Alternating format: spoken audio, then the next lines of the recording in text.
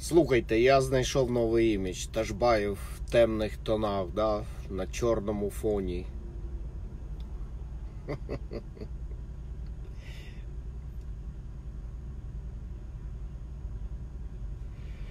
Так, де тут наша програма пана Анатолія Гриценка, яку цілий день я ніяк добити не можу.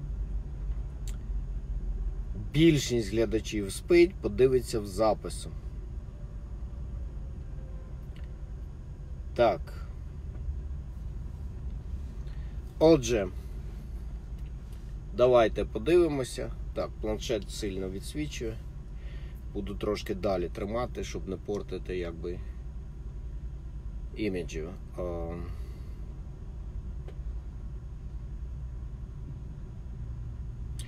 Отже, ми зупинилися на е, сторінці Чесний президент, безпечна країна. Де пан Гриценко заявляє, що капітулянського повернення Донбасу не буде. Окуповані території повернемо без особливих статусів, дипломатичними, воєнними, економічними, санкційними засобами. Це я одобрив і всім погоджуюсь. Про права на Крим я сказав, що нема чого навіть такі слова використовувати. І про те, як схід і захід об'єднає спільне успішне майбутнє, я висловив свої оцінку цьому, сказав, що людей об'єднує людей об'єднує сьогодення. А, ви мене питаєте, чи мені не спиться? У мене ще рано спати. Я просто не маю права в штаті Вірджинія їхати після заходу сонця. От і все. Все дуже просто. Насправді. Так, паркетні генерали, кількість генералів. Це я все розглядав.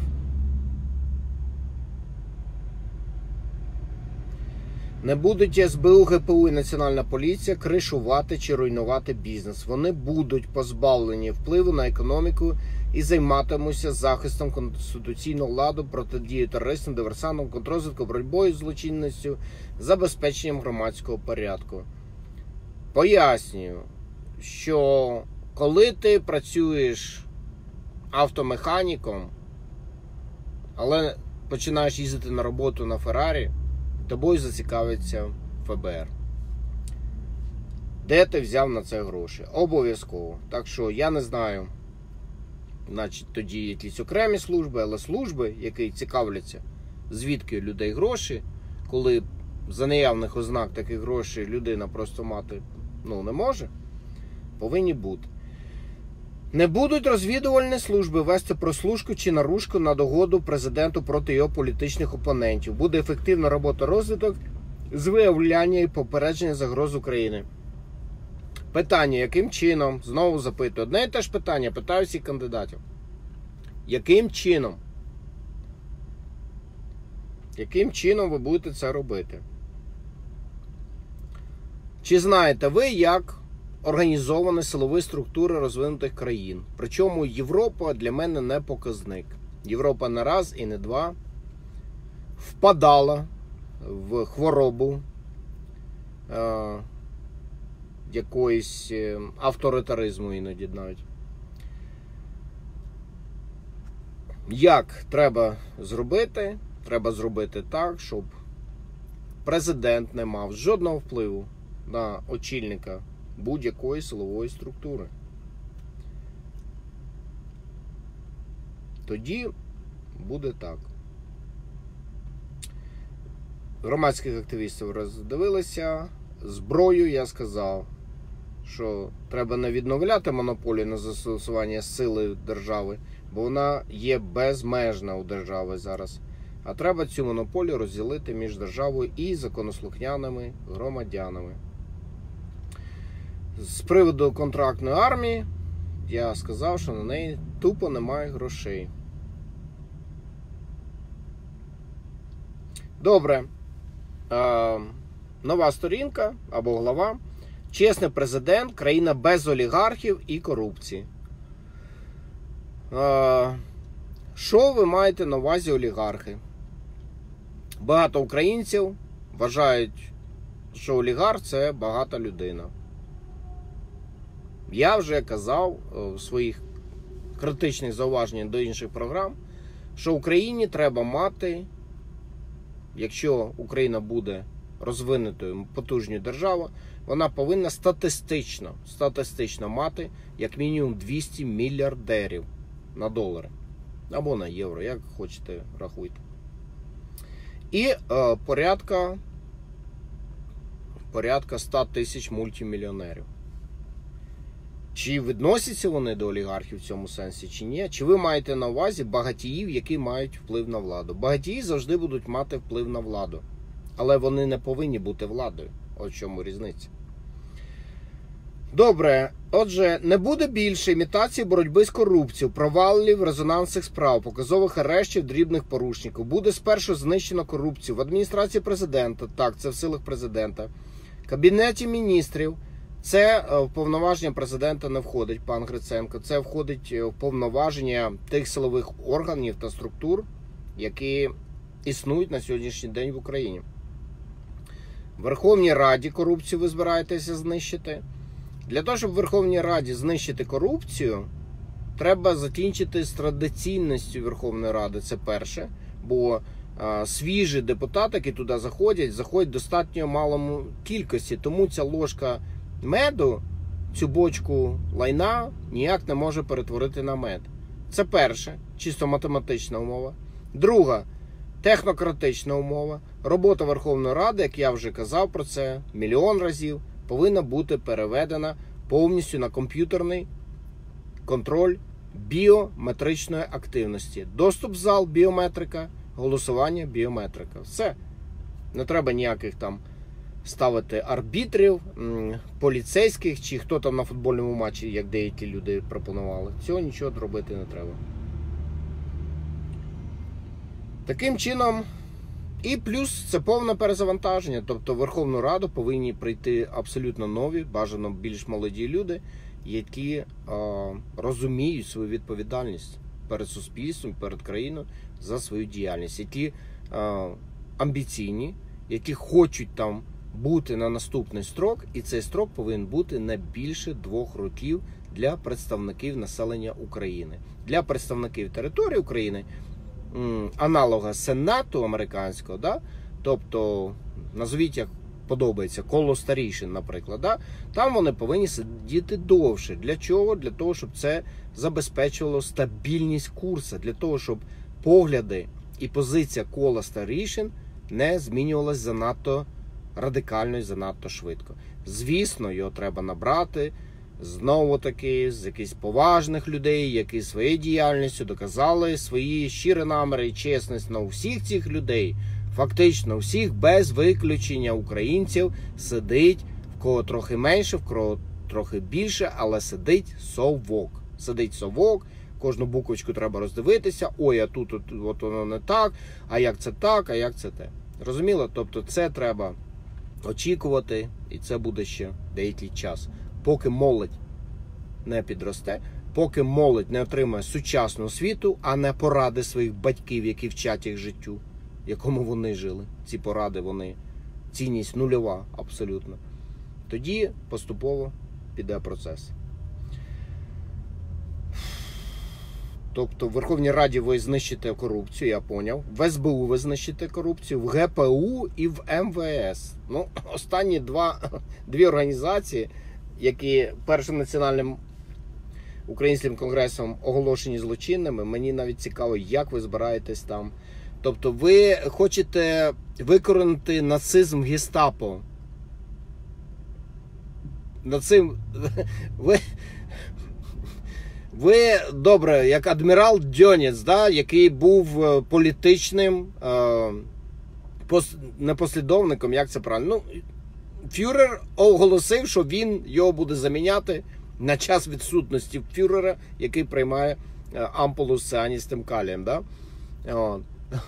І ви, адмірал Доніс, який, до речі, отримав всього-навсього 10 років тюрми в'язниці, з якого навіть заступався американський адмірал Німець. Ви, як людина прогресивна, пропонуєте і обіцяєте, що ви зробите денацифікацію гестапо. Окей. Не буде президент гальмувати роботу антикорупційних органів. Буде підтримка зусиль НАБУ, САП, НАСК, ДБР і антикорупційного суду. Нічого собі, скільки у вас вже наштампували антикорупційних силових органів.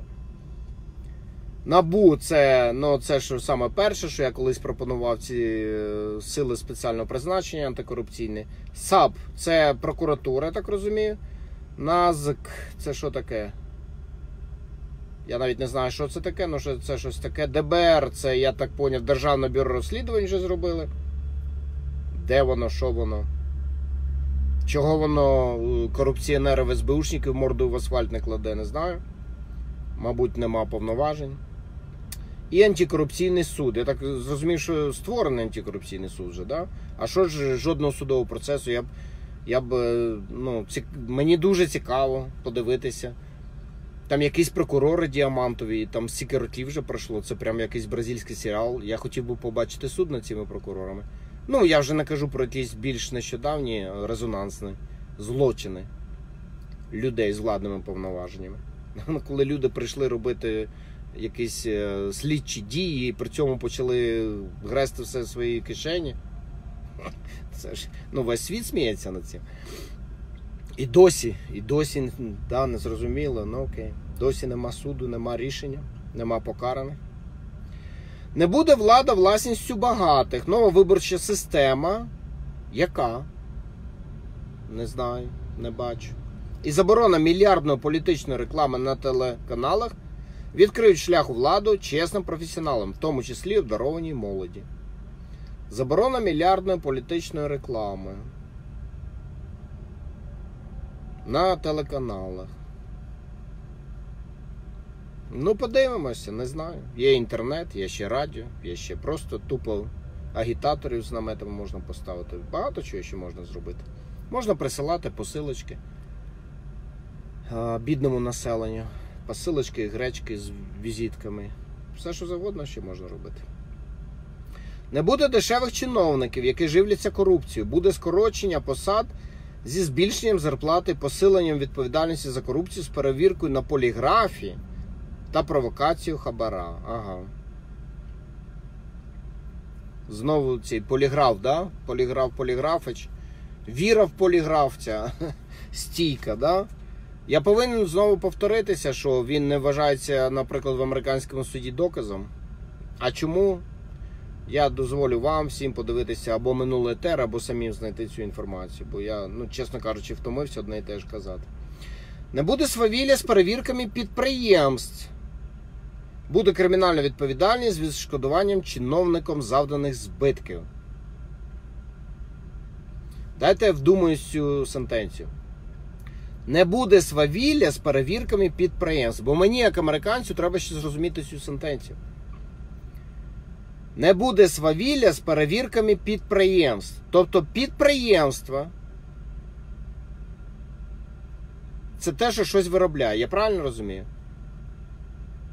Їх треба перевіряти чомусь.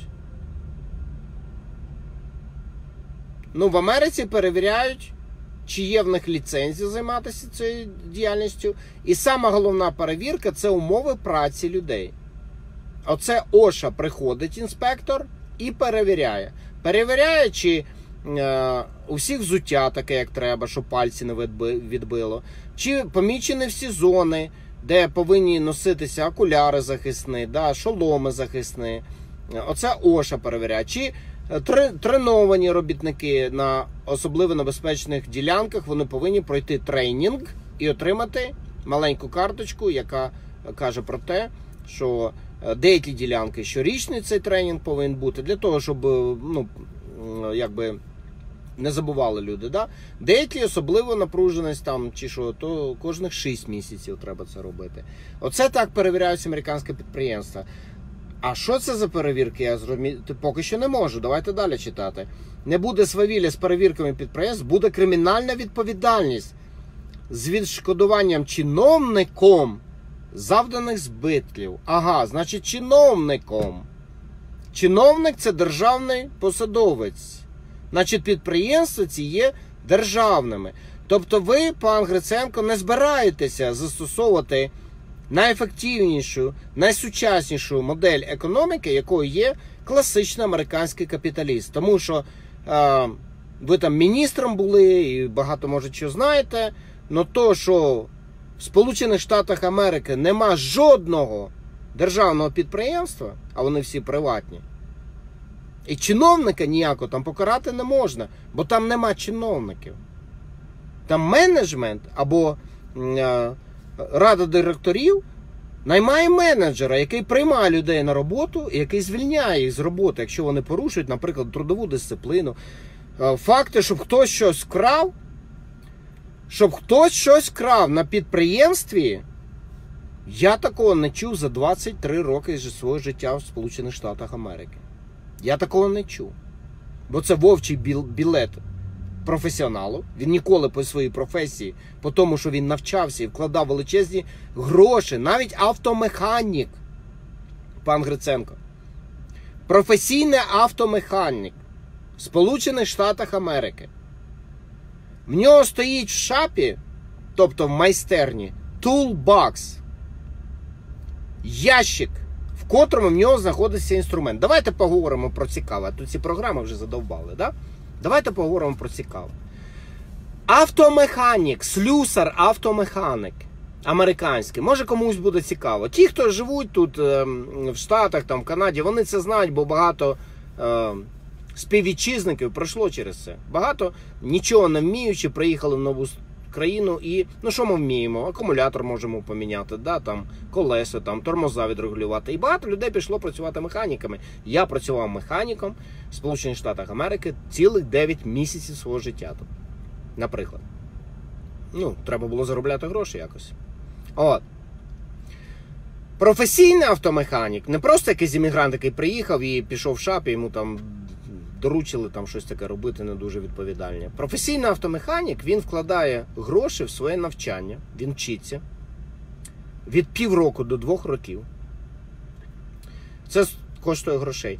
Він вкладає також гроші в інструмент. Цей інструмент він не може придбати одразу, тому що він коштує дуже багато. Бо цей інструмент дуже якісний, він має пожиттєву гарантію, так звану. Якщо у механіка зламається викрутка або ключ. Щотижня приїжджає ділер цього, цієї компанії, сама розповсюджена і сама надійна компанія називається Snap-on в Сполучених Штатах Америки, в Канаді не знаю, можливо, теж. І там, наприклад, в мене є викрутка з трещоткою, да? Ця викрутка коштує, неї ну, накінечники міняються. Вона в мене є з цих часів, їй вже 20 років, вона працює як нова. Вона коштує 80 доларів. Це ну, астрономічна сума. Ну, ти вкладеш ці 80 доларів до кінця свого життя. Вона в тебе буде і буде працювати. І не дай Боже, знайшов станеться, тобі її поміняють на нову. З трьох викруток різного розміру, які я придбав, за 23 роки жодної мені ще не прийшлося поміняти. І я їх користую регулярно. Ну, вже не в шапі, вже по своїм домашнім ділам, а іноді щось мені там і в траки, і причепи треба підкрутити, наприклад. Я їх користую по сьогодні. Вони працюють як нові. Трошки пошкрябані. Все. Крапка. Так от, пан Гриценко, щоб ви розуміли і були якби більш ваш кругозор ширився, я вам поясню. У цього механіка типово молодого, ще не такого там зубатого професіонала, а людина, яка починає. В нього стоїть цілий ящик інструменту. Він на колещатах. Він складається з двох або трьох наборних частин. Він може бути шириною навіть 2 метри. Він вище іноді людського зросту. Цей ящик коштує десь приблизно, саме ніякий коштує 7 тисяч доларів пустий. Пан Гриценко пустий. Без ключів, без нічого. І такий вже ну, наворочене, як то кажуть, коштує до 20 тисяч доларів. Пустий снепан ящик. В ньому всі ці шухлядочки відкриваються, там якісь всі ці шарики, підшипнички, колесики на тормозах. Да, там зроблено космічний апарат. Но цей ящик цьому механіку на всю його кар'єру якщо він 26 років починає працювати механіком і в 65 планує вийти на пенсію, йому цього ящика вистачить на все життя. І не дай Боже з ним щось станеться, йому привезуть ще новіше і ще краще. Зрозуміло? Давайте візьмемо щось середнє. Давайте візьмемо 12-15 тисяч доларів тільки ящик інструменту. Інструмент, який він туди буде класти, йому треба набор ключів, а ключі треба різні, довші, коротші. Ключі в Сполучених Штатах Америки механікам трошки не повезло. Якщо німецьким колегам достатньо метричних ключей, то американським механікам треба мати набір Imperial, тобто дюйми, да, те, що прийшло з Британії, і по сьогодні використовується в Сполучених Штатах Америки, і метрик, тобто міліметри. Да? Знаєте, ключ на 17, там на 19. О. Коротше, коли він наб'є всім необхідним для того, щоб працювати інструментом, цей ящик, цей ящик може сягнути 50 тисяч доларів дуже легко. Дуже легко.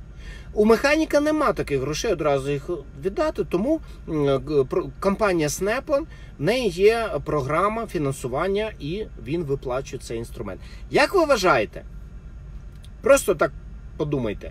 Людина, яка вклала стільки часу, ну добре, це не 10 років навчання, як доктор да, в США, медичний доктор, але все одно механік, здається, да, якийсь там маслопуп. Да? Ну він вклав від 6 до 24 місяців своє навчання, в залежності від сертифікації, отримав сертифікат, вклав або повинен, а там треба якісь гроші спочатку дати. 25-45 тисяч доларів в інструментарій. Для того, щоб отримувати гідну зарплату, ну хоча б 20 доларів на годину. Як ви думаєте, ця людина піде щось красти? Ні, вона не піде щось красти. І це тільки механік. Уявіть людей, які роками працюють в сталевій промисловості Пітсбурга, штат Пенсильванія, або Екрон, штат Огайо. Уявіть людей, які займаються роками е, конями, е, живописом, е, науковими дослідженнями, ще чимось. Цих людей треба перевіряти. Повірте мені, їх перевіряти державою не треба. Бо вони всі на приватному маркеті шукають, як краще продати свої таланти. Ви розумієте, що таке вільний маркет? От совки і ліваки вони ніяк не розуміють плюсів і феномену вільного маркету, вільного маркету нерухомості, вільного маркету валюти, вільного маркету праці. Вони не розуміють, що це унікальна саморегулююча система, яку треба трошки іноді десь щось обмежувати дуже-дуже обережно. Десять разів відміряй, один раз відріж.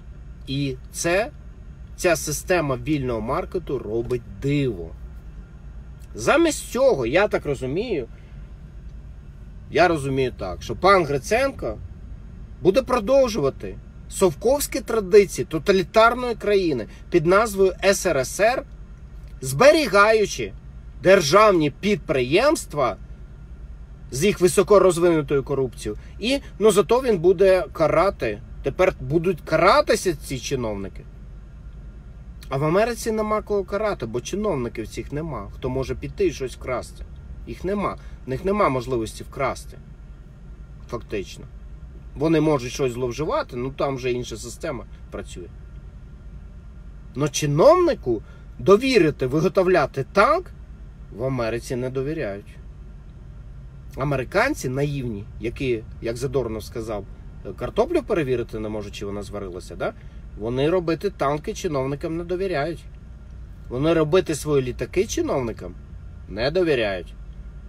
Вони робити свої авіаносні групи чиновникам не довіряють. Це General Dynamics та інші приватні фірми роблять авіаносці, збирають і атомні підводні човни, якщо ви цього пан Гриценко не знаєте. Вони чиновникам не довіряють жодної ядерної електростанції. Вони чиновникам не довіряють жодного нафтодобування. Вони нічого не довіряють чиновникам. у них є політики, яких вони обирають, і якщо треба, то метлою можуть погнати. А чиновники в американці не розводять. Ну ви, як я розумію, у нас будуть залишатися в Україні державні підприємства. Бо ви навіть не пояснюєте, що воно державне, ви навіть не уявляєте, яке воно ще може бути, я так розумію. Не буде свавілля з перевірками підприємств, буде кримінальна відповідальність з відшкодуванням чиновників завданих збитків. Пан Гриценко, не вірю. Не вірю. Не вірю. Сталін карав жорстоко. Ви так карати навіть не зможете в сучасному демократичному світі. І корупція процвітала. І крали, крали і продовжували красти. Знаєте що, пан Гриценко, для вашого якби ще одного там моменту розвитку, я вам знаєте, що рекомендую? Підіть в Вікіпедію і наберіть наступний текст. Герої Радянського Союзу якийсь позбавлено звання. Їх, їх купа, їх багато. А герої Радянського Союзу під час війни отримати було ой як нелегко. То було відчайдухи такий, що вони там вже я не знаю, що вони робили.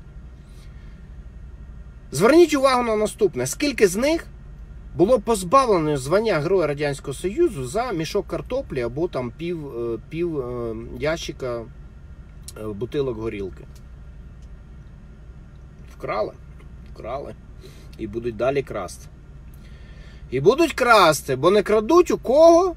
У Порошенка важко вкрасти на рошені. Чому? Тому що це не тому, що він президент, а в нього до президентства було важко вкрасти, тому що це приватне підприємство. Там сильно не розгуляюся вкрасти. Ви багато крадених рошенок бачили?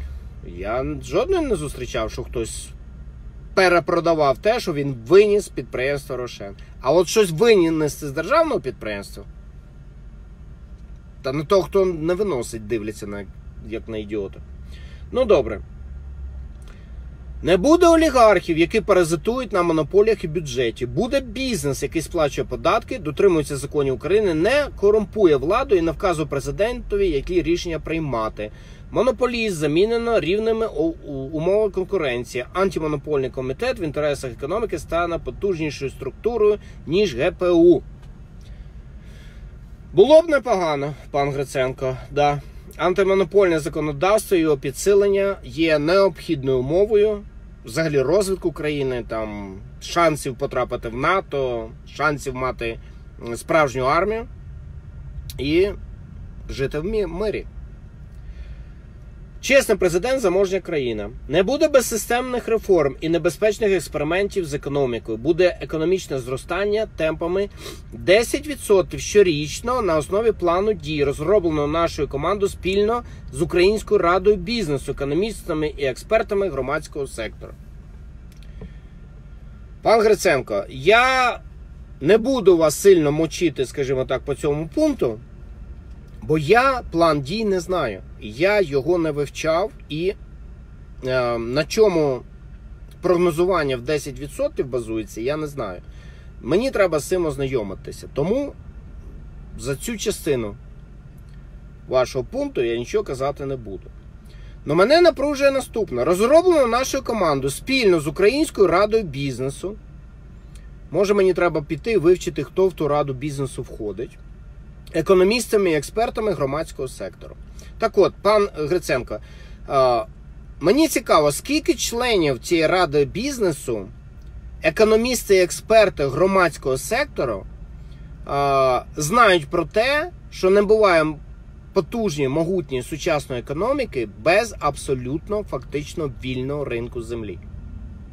Мені просто цікаво почути думку цих експертів і економістів, хоча по цьому пункту я вже мовчу про інше. Я мовчу про вільний е, оберт е, валюти в країні. Я мовчу про податкову політику, митну політику, е, бюрократизацію бізнесу, да, як легко все це робити. Я це навіть не хочу піднімати. Це там дуже багато якби, питань інших, щоб зрозуміти, хоча б, чи ці люди знають ну, елементарщину.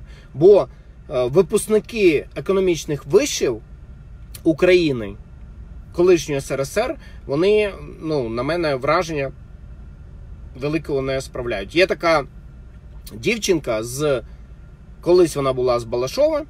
Зараз я не знаю, ну лібертаріанці вони, да? Е, Маргарита Овчарова її звуть. І ця дівчинка було мені цікаво дивитися на її прогрес.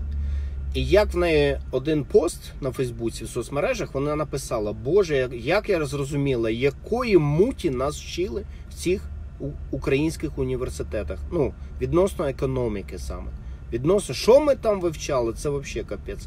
Там вивчають, ну я вам скажу, переписаний капітал Маркса. Ось що там вивчають, розумієте?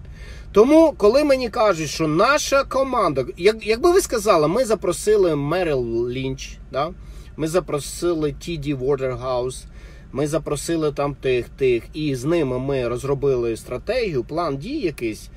Е, оце мені було б цікаво. От на це б я звернув увагу. Ну коли ви кажете про якихось громадських активістів, половина з котрих е, кричить щось там про майно, що нам всім належить майно. Е, мені на повному серйозі в коментах люди пишуть. Одна панянка написала сьогодні, вона пише. Ви вважаєте це справедливим, що власник свердловини і той, хто на нього працює, повинен платити однакові податки, наприклад, 17%. І власник свердловини взагалі він продає народне добро. Тут одразу в мене матрос, смольний, патронтаж і мандати на колоті на багнет перед очами з'являються. Е, це народне майно, а він падло його продає то це ви вважаєте справедливим? То мені цікаво, якщо ваші експерти теж мають, ну скажімо так, такі думки, то я собі вже уявляю, яку Венесуелу вони в цьому плані розписали. Но, повторюю, я з ним не знайомився, не можу сказати наперед. Но мене напружує те, що ви використовуєте українських спеціалістів. Чому? Тому що українські спеціалісти, окрім тих, хто поїхав за кордон, там навчився і там працює бо там ринок праці за їх знання платить їм нормальні гроші. А ті, хто знаходиться в Україні, ну може Андрій Новак і Олег Соскін, виключення такі, що я знаю більш-менш особисто, мене це напружує. Бо спеціалістів у вас нема, економістів у вас нема справжніх. У вас е, ходять люди, які є носіями або марксистсько-ленінської політекономії, або якоїсь кулібінщини. Щось там напридумують таке, що ну там поставимо печатку, щось оформимо на кожного громадянина України і будемо жити заможно за рахунок того, що прийдуть німці або американці, будуть у нас все орендувати, а нам можна нічого не робити. Так що не знаю, пане е, Гриценко, будемо вивчати, що це за рада у вас така. Не буде фіктивного планування, буде всеукраїнський перепис населення і на його основані обґрунтовані плани розвитку економіки, освіти, науки, медицини та пенсійного забезпечення в Сполучених Штатах Америки. Перепис населення відбувається щорічно. З чим це пов'язано? Насамперед. Тому що в Сполучених Штатах Америки government, тобто уряд, система менеджменту уряду є абсолютно унікальна у світі, і жодна країна цієї моделі ще не повторила, хоча багато копіює. В Сполучених Штатах Америки треба знати щорічно населення, тому що кожних два роки обирається палата представників, так звана, тобто нижча палата в парламенті, де знаходиться більше людей. Вони знаходяться на більш короткий строк, але вони пропорційно представляють собою інтереси населення кожного штату окремо. Україні це прекрасно підходить, тому що Україна поділена на області. Якщо в тій області мешкає більше людей, то відповідно їх інтереси повинні лобіювати більше парламентарів. Це розраховується, наприклад, ідуть суперечки, скільки треба депутатів, скільки треба те. Я пропоную просту систему, яку ну теж ніхто щось в своїх програмах не пише, а просто пишуть: от треба скоротити там, щоб було 300, да, або 350. І не пояснюють, чому саме ця цифра, звідки вона взялась. Я пропоную скопіювати американську систему, зробивши двопалатний парламент для більш кращої перевірки і балансу влади, взаємної перевірки і балансу влади. Я пропоную верхню палату, яка, повторюю, може назвати, наприклад, коло старішин, да, щоб воно було українське, щоб ну, не називати сенаторами, там якимсь закордонним словом. Повинно входити по два представника від кожної області. О, Каюсь, невиглас, ніколи не запам'ятав, скільки областей має Україна. Наприклад, 17 нехай їх буде. 17 областей, 34 старішини. Обираємо одразу 34, потім вони через жебракування, жере- жеребкування, жебракування, вибачаюсь, через жеребкування вони тягнуть свої щасливі квітки, кому йти на перевибори через 2 роки, кому йти на 4, всім іншим через 6. Тобто третина кола старішин кожні 2 роки змінюється. Состав оновлюється. Ну, якщо людина заслужила, люди знову за нього проголосують, він залишиться. Як це, наприклад, з 50-х чи 60-х років минулого століття до нещодавнього часу робив сенатор Маккейн. Його люди за його відданість, за його чесність, за те, як він е, виконує свої обіцянки, як він, коли треба, і вибачається, якщо в нього щось не вийшло, його люди, мешканці Аризони, перебирали багато-багато строків. Після того, як ми запустимо цю систему, тобто першим невдахам через 2 роки йти на перевибори, іншим, яким трошки більше повезло через 4, а іншим через 6. Ми запустимо систему, коли кожні 2 роки третина кола старішин змінює свій склад. Для того, щоб відповідати змінам вимогах суспільства. Но при цьому ядро коло старішин, звісно, залишається довго. Це для консерватизму, це для того, щоб курс країни був чітким і надійним. Так працює Сенат Сполучених Штатів Америки, хто цього не знає. Палата ж представників складається з пропорційних груп конгресменів, які представляють собою населення країни. Точних цифр зараз вам не скажу. В Україні їх треба перераховувати, тому що населення менше, ніж в Сполучених Штатах Америки. Ну, наприклад, якщо у нас 35 мільйонів, розділити на 10 3,5 мільйона, розділити на 100 350 тисяч. Ну, так приблизно і виходить. Наприклад, один парламентар з нижньої палати, який обирається на 2 роки, і як я запропонував, через рік в нього обов'язковий громадський аудіт. Якщо він не витримає цей аудіт, в нього дострокове завершення його повноважень, мандат забирається. Один представник на 100 тисяч населення. Тоді буде зрозуміло. Тоді буде зрозуміло, скільки ж повинно бути депутатів в так званій Верховній Раді.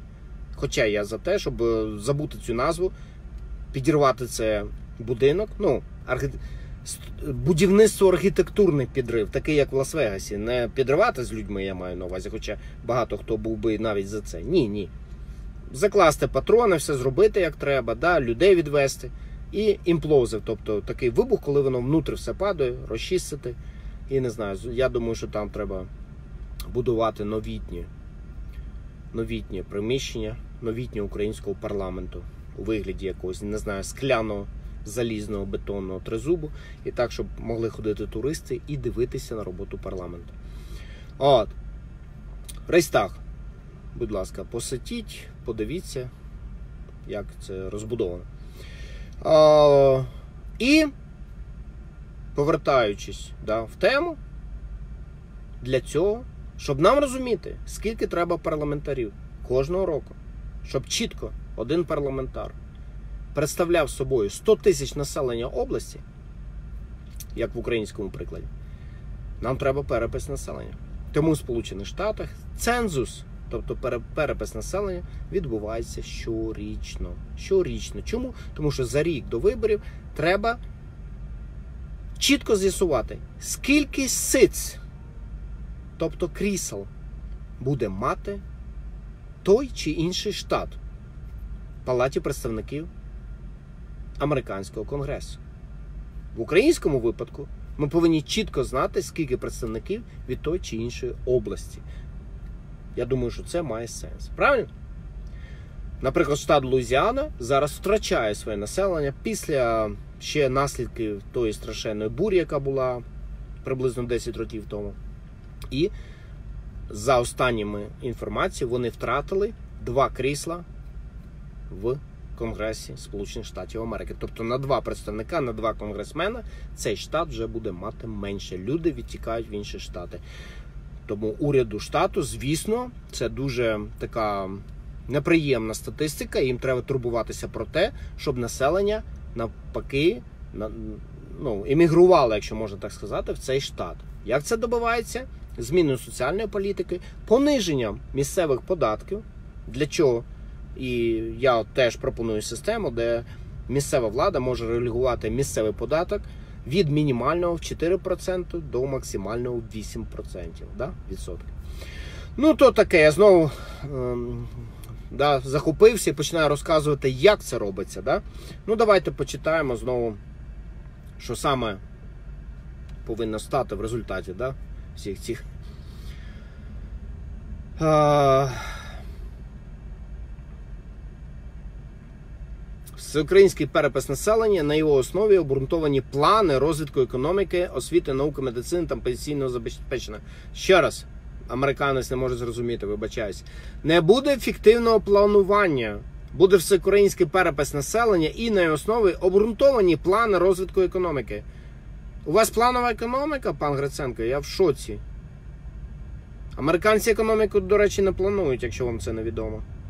Не планують економіку. Американці дивляться на те, де відбувається погіршення, і приймають методи для того, щоб це погіршення зупинилося, і, якщо можна, то реверсувати його. Все. Там нічого не планують. А ви збираєтесь економіку планувати, освіту, науку, медицину та пенсійне забезпечення. Добре. Не буде вигідних не буде невигідних кредитів під гарантії держави, будуть внутрішні та зовнішні інвестиції через надійний захист права власності та легалізацію капіталів, у тому числі повернення їх в Україну із офшорів. Да, цікаво. Для того, щоб був. Дивіться, от ви тут правильно пишете через надійний захист права власності в Україні.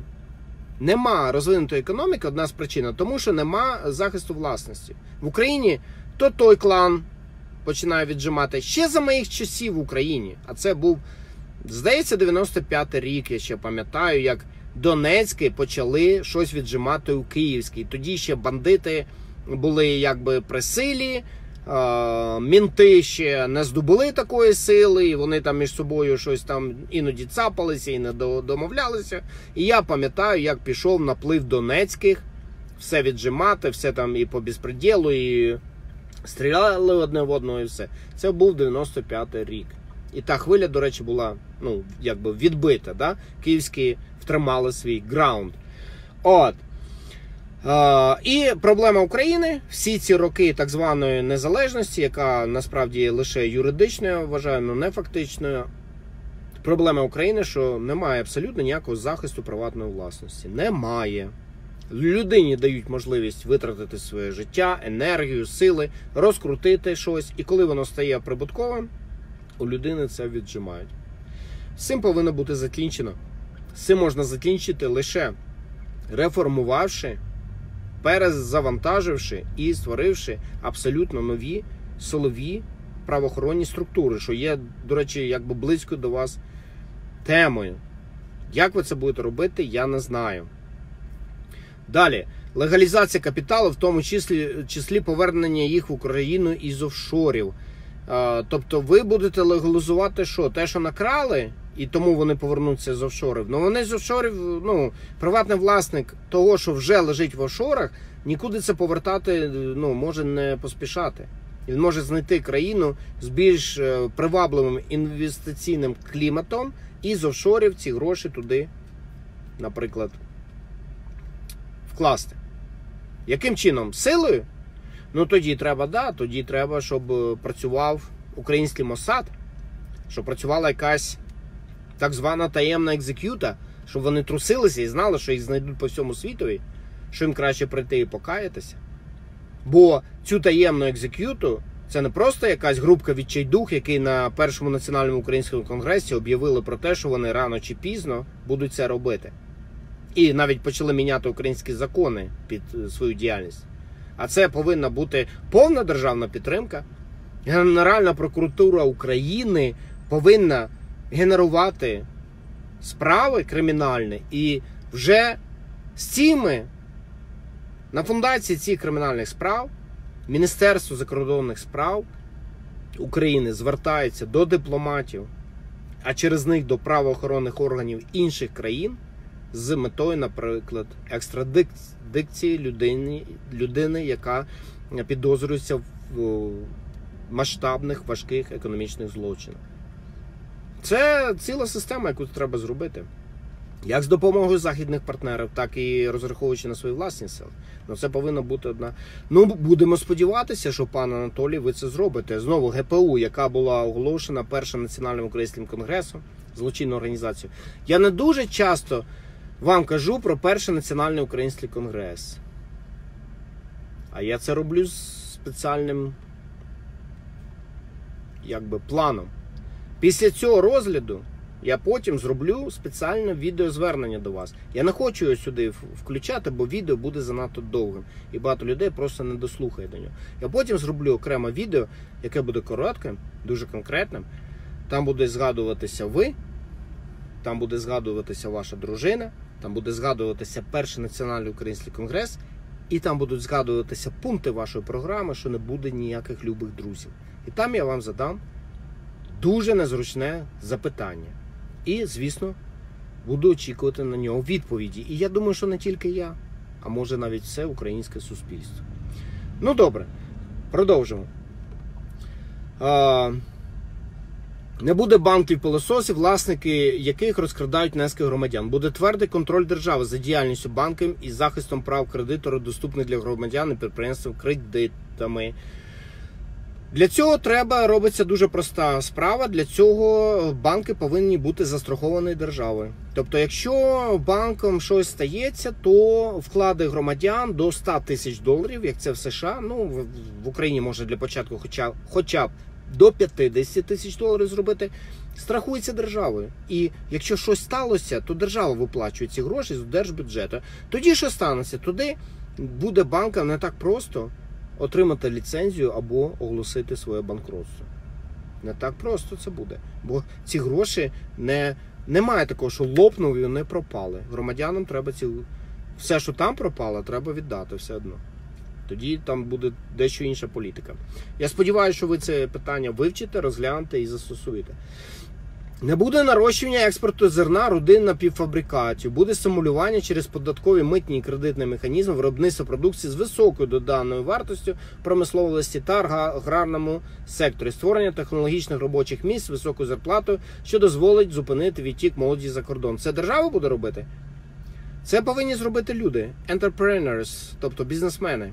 Люди, які хочуть заробити грошей, стати багатими, жити краще мати дорогі іграшки. Вони це вони зроблять. Держава це не зробить. Держава повинна цим людям не заважати. Держава може не заважати цим людям у вигляді спрочення, спрочення бюрократичних е, процедур і абсолютно мінімальних податків. Не буде залежності від імпортного газу, буде політика енергозбереження і енергоефективності. Поясню, коли почнеться бум економіки в Україні, то у вас е, е, як це, споживання електроенергії газу збільшиться в рази. Не просто там в раз, два, в рази. Його треба десь брати. Це тут обіцянками так швидко. Ну, енергозбереженням тут не обійдеться, бо його ще більше треба використовувати буде. Опора на власність, зокрема, відновлювані ресурси. Так, вітер та сонце є відновлюваними ресурсами. Також хвилі морські. Ну, я не жартую, це все можна розбудувати. Цікавий проект був того ж Якова Осташа розбудувати сонячні ферми на території колишньої Чорнобильської АЕС. Тільки він не може знайти інвесторів і спонсора на цей проект, тому що в цю країну ніхто е, з людей з західного суспільства гроші вкладати не збирається. Поки тут безпреділ законний існує. Не буде необґрунтованих закупок дорогої імпортної техніки та обладнання на будівництві нових доріг, мостів, вокзалів та аеропортів. Надамо перевагу вітчизняним виробникам і створимо сотні тисяч нових робочих місць для українців. Ви запорожець хочете український зробити? Тобто, ви хочете зробити машину в короткий строк, до речі, у вас тільки 5 років. Шановний пан, у вас 5 років. Ви хочете створити машину, яка хоч якось буде відповідати світовим стандартам якості і е, ефективності. Чому? Тому що ну, ми шляхи ж будемо будувати сучасні, чи як? Чи знову як е, ну, бик, ну ви там далі знаєте, яке слово йде. Якщо ви будете будувати сучасні шляхи, то техніку тут використовують. Ой-ой-ой. Ой-ой-ой. Я зараз везу військову техніку, яка ну, може побудувати дорогу. От куди водій подивиться, там буде дорога. Куди він поїде, там буде дорога за цією технікою. Це спеціальна інженерна техніка для Національної гвардії Сполучених Штатів Америки, яка має те ж саме озброєння, той же самий обладнання, як е, американська армія. Там нічого не відрізняється, і гармати такі, і гелікоптери, і танки, і все. Що у Національної гвардії, що у американської армії. Ну тому що вони. Національна гвардія Сполучених Штатів Америки це справжні захисники своєї країни, а не мусори. Ну то інша справа, то вже коли пан Аваков свою програму публікує, тоді будемо розмовляти на цю тему. От. Тобто ви збираєтеся будувати сучасні шляхи, але при цьому ви хочете е, загод, за, ну, підкупити українців тим, що ми будемо будувати наші шляхові запорожці. Ну, нема наукової бази, нема е, власних якихось конкретно здатних розробок, нічого нема. Ну ви хочете, бо шляхи ж треба будувати. Ну, при вашому президенті, то це я так, ну підрахувати, ну хоча б за два роки треба створити ці машини. То це будуть запорожці ці, да? горбаті, да? чи вухаті, чи які вони будуть. Які вони будуть, такі і дороги будуть. Бо вони будуть ненадійні, неефективні, вони будуть ламатися, їх треба ремонтувати постійно, замість того, щоб на катерпілер сісти і зробити ділянку дороги і не думати ні, ні про що. Ви знаєте, що будівні компанії Америки, які будують дороги, техніки своєї не мають. Ви не знали про це? Диверсифікація вже сягнула таких масштабів, в них немає жодного бульдозера свого. А бульдозери, знаєте, як Caterpillar працюють? Не бачили ніколи? Пан Гриценко. Ну вам нема коли. Вам вам же ж треба зустрічатися з людьми і постійно їм щось обіцяти. Я розумію. Ну в мене якби більше часу на це було. На бульдозері Caterpillar, який будує сучасну розв'язку, знаєте, що таке розв'язка? Да? Це коли чотири моста один над другим, щоб машини роз'їхатися могли, щоб не стояли на світлофорах, як придурки. І ці світлофори, я вже мовчу, як вони в Києві розташовані, я там шию майже не зламав. Вже не кажучи про те, що в них немає сенсорів. В Сполучених Штатах Америки вони сенсори стоять, вони підраховують, скільки машин стоїть, як довго повинен зелений сигнал горіти. Нічого цього у вас немає, у вас кам'яний вік. Ну добре, добре. Ну ви знаєте, як ці розв'язки будує сучасний бульдозер компанії Caterpillar, який, яким управляє ну, досвідчений водій, оператор, який да, багато років це робить, він нічого не вкраде, бо в нього буде вовчий білет. Він по своїй професії, в якій він досяг висоти, він не зможе ніде працювати, його ніде не візьмуть, якщо він щось вкрав. На ньому стоять на таких штангах два GPS-передатчика і прийомники. Він по GPS кожних 5 см з землі знімає або кладе. Ось до якої точності це все доведено. Це бульдозер компанії Caterpillar. Ви готові виготовити такий бульдозер за скільки? За 2 роки? Я розумію відкрити філіал компанії Caterpillar і мати дешевше техніку для себе за, за умов, що використовується все ж таки більш дешева робоча сила, аніж американська робоча сила. Але ця робоча сила теж поступово дійде до рівня зарплат американців, німців, французів. Інакше ну, нульова цінність всім нашим зусиллям. Цей пункт програми є популізмом, невиглаством і, вибачте, ідіотством. Ви замість катерпілерів, вірмаєрів, Камацу, Вольво Запорожці поставити, да? будувати шляхи в Україні. Набудуєте. Це не так робиться. Коли українці навчаться і почнуть робити продукцію, яка конкурентно здатня з Caterpillar, Komatsu, Volvo та іншими, тоді, тільки тоді щось піде. А ви знову держава буде да, казати, ні, ми це, да? Богдани ми, ми візьмемо. Не Мерседеси ми візьмемо як швидку допомогу для воїнів, а Богдани, які до фронту доїхати своїм ходом не можуть. 40% поламалося. Треба вже ремонтувати. Brand new, з заводу тільки вийшли. Ви ці традиції будете продовжувати. Пан Гриценко. Я не знаю, хто на вас навіть робить ставку. Ну, я кажу, це ну, ну динозавр радянського періоду. Ну, я не знаю, що це таке. Ну, от читаю програму, ви ж її читали, ви ж ви ж погодились на це. Правильно? Я розумію, що ви не є автором тут кожної строчки. Я розумію, що якась команда, якісь референти, помічники. Ну, ну ви ж погодились з цим, значить, ви нормально це сприймаєте? Не буде контрабанда руйнувати наше виробництво. Буде чесна, ефективна митна політика. Ні, пан Гриценко, якщо ви поставите на кожний митний е, пункт чітліста, цього чітліста куплять. Тому що у вас немає грошей, щоб платити йому таку зарплату, щоб він всіх посилав на три букви. Немає у вас таких грошей. Їх ще нема. Українці ще не стали заможніми, щоб накопичити ці гроші в держбюджеті. Зрозуміло? І чітліст вас нічим не допоможе. Допоможе єдине скасування митниці взагалі. Не буде зловживань, коли не буде закону, який ну, порушують. Зрозуміло? Сухий закон скільки разів водили? І в Америці водили. І це була помилка. І цю помилку зрозуміли, і більш цю помилку не повторюють. Не буде знищення лісів і довкілля, буде мораторій на експорт деревини під виглядом дров з розвитком вітчизняної деревообробової, мебельно картонно паперової галузі і відновлення ліс, лісових масивів. Ну, це так можна зробити. Впираються податки знову. Не буде базару земель, скупки їх за безцінь аграрними олігархами. Ринок земель буде, це вже добре. Але після 100% формування земельного кадастру. Ну, звісно, а як же інакше? Зміцнення фінансової спроможності фермерів. В них ще немає ніякої фінансової спроможності і ще не скоро буде. Можна людям давати на виплату. Насамперед тим, хто бажає оброблювати.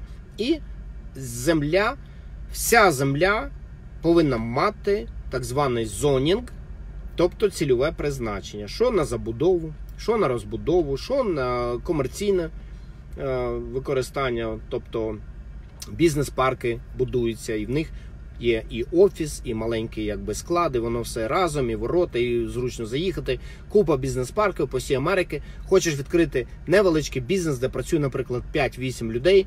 е, Займаєшся або виробництвом, або торгівлею, або ще чимось. Йдеш в бізнес-парк, обираєш таке приміщення, яке е, підходить твоїм задумкам, твоєму бізнесу, платиш рент, підписуєш контракт і сидиш там, чіпляєш цю вивіску і пішов. Це є комерційна нерухомість, так звана. Є забудовники, яка спеціалізується не на житловій нерухомості, а на комерційній, наприклад. Да? А є сільськогосподарська земля, і тільки повинна використовувати як сільськогосподарська.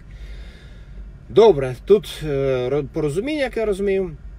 Зупинки тіньового обігу земель.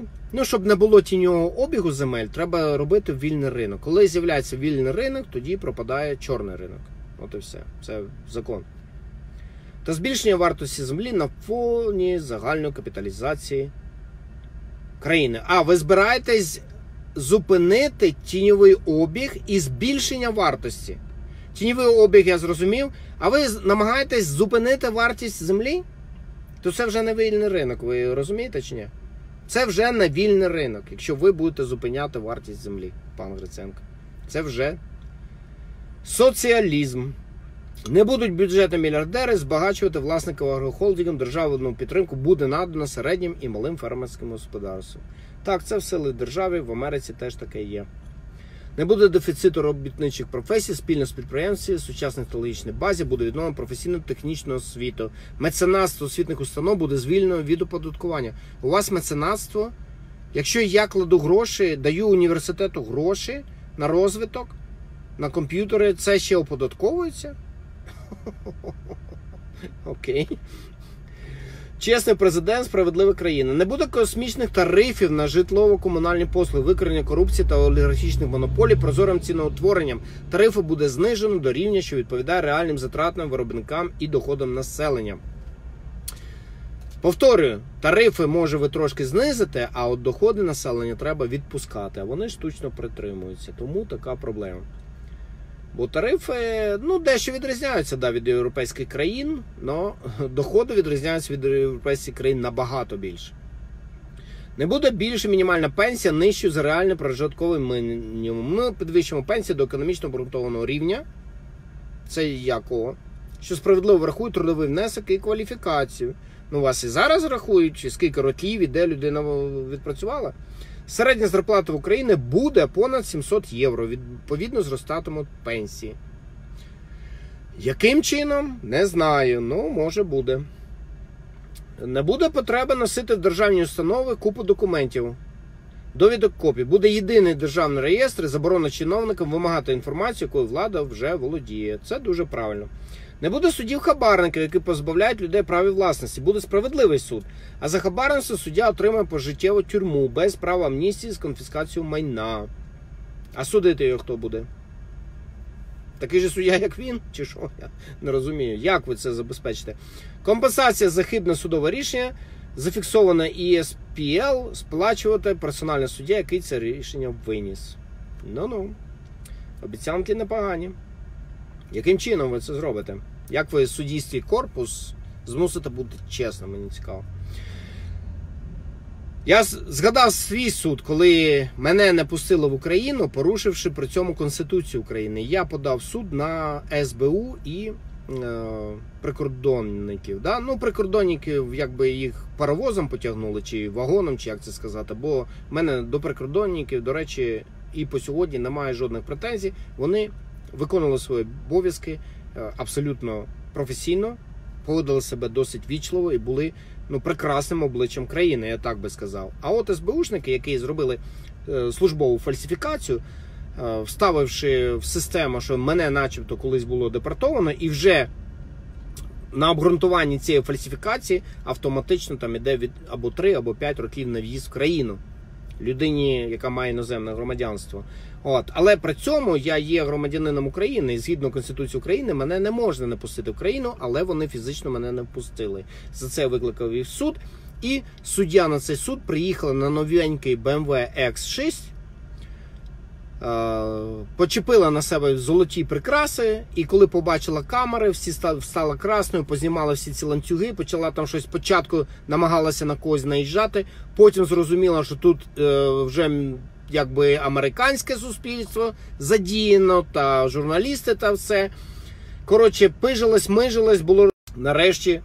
Потім вона нарешті знайшла е, якби відмовку в тому, що там державна таємниця, це ж СБУ, а в неї нема доступу. Треба іншого суддю. Я подивився на це все, сказав, щоб закривали справу і ну, не витрачати час і гроші.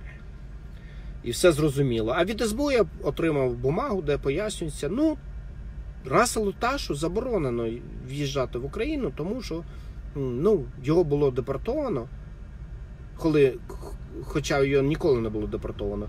І е, за цього він 5 років не має права в'їхати. А от до Ташбаєва Рустама ні у ГПУ, ні у СБУ, ні у кого немає ніяких претензій, тому що людина закон не порушувала, ніяких кримінальних проваджень е, немає. Все абсолютно нормально. І згідно Конституції України ніхто не має права йому заборонити відвідувати Україну. Тому да, я після цього ще 10 разів чи 12 приїжджав, вирішував питання, дивився, намагався щось організувати, потім зрозумів, що треба йти трошки іншим шляхом. Не буде знедолених переселенців, буде державна політика кредитування їм житла і стимулювання створення робочих місць. Так, держава повинна цьому допомагати. Не буде дискримінації військових пенсіонерів, буде гідне забезпечення солдата, коли він служить і коли стає ветераном. Держбюджет, шановний пан Гриценко, держбюджет у вас лопне з цих обіцянок. Ви стільки обіцяєте, у вас у вас треба, ну вам треба 10 держбюджетів. Я вам підсказав, як його наповнити, але це треба в першу чергу зробити. а вже потім буде все гідне там забезпечення і пенсії. Не буде знедолених переселенців. Так, це я читав, вибачаюсь. Не будуть поневірятися фронтовики. Для їхнього лікування буде пріоритетно відкрито Феофанію. І всі лікувальні установи нині доступні для високих чинів. Ну, совок совком. Совок совком будуть відкрити туди, куди генсеки ходять, буде відкрито. Та ні, зробіть медицину як в Грузії. І не треба ніяких Феофаній, бо кожна лікарня стане Феофанією. Це, ну, це тупізм вже, я не знаю. Ми вам відкриємо зимній палац. Солдати і матроси, робочі крестьянські депутати, зимній палац. Ідіть об ковер царя, витрить свої чоботи. Ми вам дамо таку можливість. Я в шоці. Я в шоці. Пан Гриценко, ви совок. Репаний. Я вам серйозно кажу. Я тепер бачу по цим пунктам програми, що ви просто репаний совок. Ображайтесь, не ображайтесь, ну це совок. Я розумію, ви іншого не знаєте. Ви вже занадто похилого віку, щоб змінитися. На жаль. Не буде фінансування освіти, науки, культури, медицини і екології за залишковим принципом. Буде вкладання коштів у людський капітал, формування світогляду людини і професійності у гармонійний культурний розвиток, моральне і фізичне здоров'я. Ну, цього я не дуже зрозумів, але якось.